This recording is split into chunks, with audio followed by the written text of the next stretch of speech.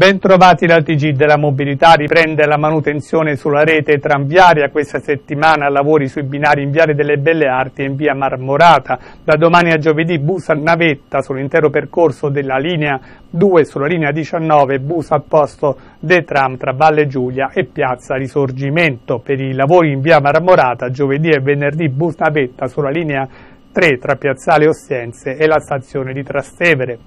Le altre notizie, di nuovo attivi da oggi i varchi di ZTL in centro.